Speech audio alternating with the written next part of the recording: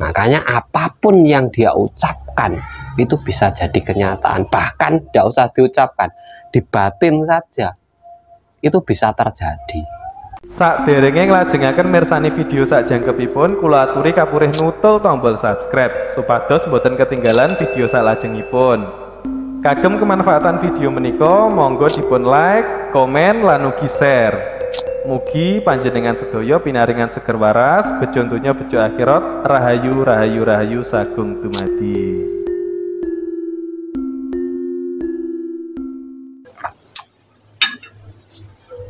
Di saat kita sedang marah, kita sedang sakit hati,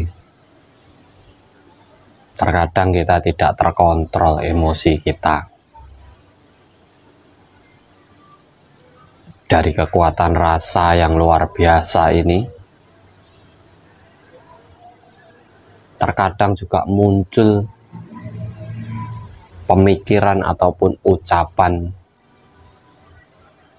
yang sangat tidak baik terhadap orang-orang yang menyakiti kita.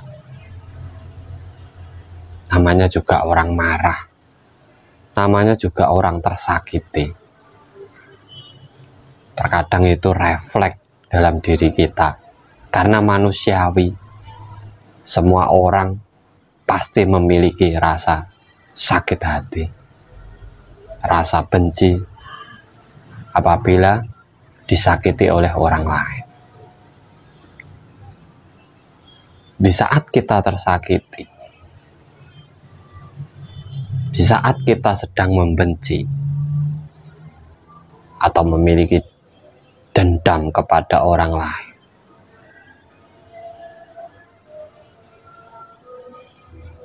jangan sampean ucapkan atau pikirkan bahkan sampai batin saja sesuatu yang berakibat buruk atau berdampak buruk kepada orang yang menyakiti jenengan. Kalau bisa didoakan saja. kecuali kalau memang sudah benar-benar sekali, dua kali, tiga kali masih saja menyakiti jenengan. Silakan. Saat marah, emosi tinggi, nah tarik nafas, simpan di dada, tumpukan titik fokus kepada target tadi batin atau ucapkan atau pikirkan apa yang sampai kehendaki pada si dia. Nanti sampai lihat sendiri tapi kalau selama masih bisa dimaafkan apalagi kita sebagai orang tua kepada anak-anak kita memang terkadang anak itu menjengkelkan. Terkadang juga susah diomongi ataupun dinasihati. Di saat anak-anak kita menyakiti hati kita kalau bisa tarik nafas simpan dada batin ucapkan pikiran tapi yang baik. Kamu jadi anak sukses. Hidupmu akan makmur. Jangan yang buruk-buruk. Karena apa? Nanti di saat anak kita mengalami hal-hal yang buruk, kita juga yang susah.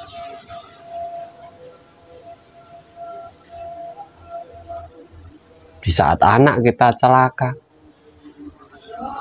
Kita juga yang susah. Karena di saat orang marah orang sakit hati orang teraniaya antara pikiran, ucapan, dan hati itu sinkron. Jadi satu.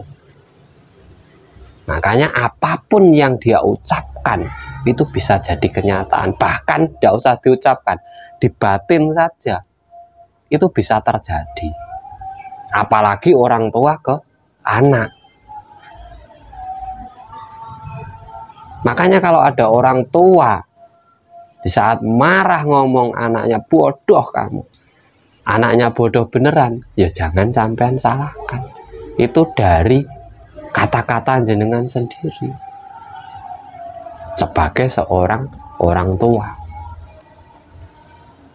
Makanya di sini saya sarankan khususnya khususnya kita sebagai pendidik pencerah atau pembimbing bagi anak-anak kita di saat sakit hati, di saat emosi kita lagi naik, alangkah baiknya kita batin, kita ucapkan, kita pikirkan itu hal-hal yang ke depannya bisa memberi kebaikan pada anak tersebut. Nanti kalau anak kita bahagia, anak kita makmur, anak kita sukses, ya kita juga yang merasakan. Karena di saat kita marah, doa kita itu cepat terkabul. Ya karena sinkronnya ini tadi. Antara rasa, ucapan, dan pikiran.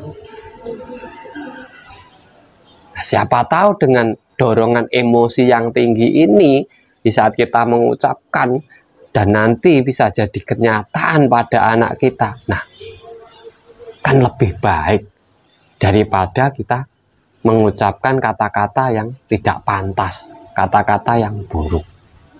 Nah, itu untuk anak. Kalau untuk orang lain ya seperti itu juga. Selama masih bisa dimaafkan, kita pikirkan, belum keterlaluan, ya kita maafkan, kita doakan aja yang terbaik. Tapi kalau memang sudah benar-benar sudah sekali, dua kali, tiga kali, masih saja seperti itu.